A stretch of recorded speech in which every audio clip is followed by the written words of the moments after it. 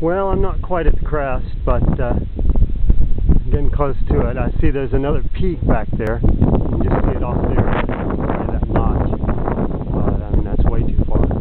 It'd be nice to get up to that crest, but once again, I don't want to cut it too close because the guys might be mad at me if I'm late. So I'm probably going to head on down pretty soon. It's uh, um,